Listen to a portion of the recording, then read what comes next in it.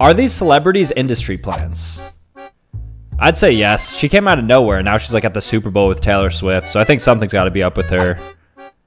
Obviously, yes. She had Drake on our podcast within like a few episodes. Then she's gotten like every A-lister possible. Either that or she stumbled on the greatest manager of all time.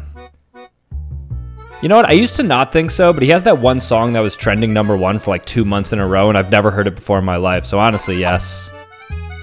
I'd say yes. One day she just became like super relevant, then didn't disappear, so something's got to be up. 100% definitely an industry plant. You can tell by like how sacrilegious he is. He's beat. I forgot that Chance the Rapper existed. He had that one good album, then he like dipped. I don't think an industry plant because he used to actually make bops. Billie Eilish, no, she's actually talented. I think she's a good singer, and her brother's talented too, so she's good. And then I don't even know who this is, so I'll say no to be nice.